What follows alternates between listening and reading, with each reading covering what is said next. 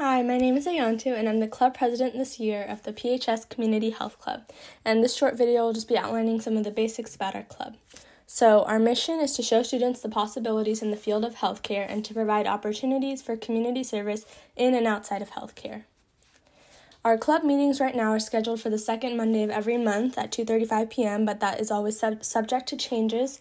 And right now the meetings will be held through Google Meets.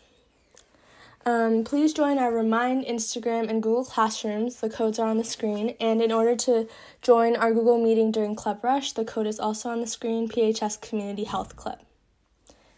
And if you have any questions, please direct them to me. My email's on the screen, or to our club advisor, Mr. Wilding, and his email is also on the screen. Thank you for listening, and I hope to see you soon.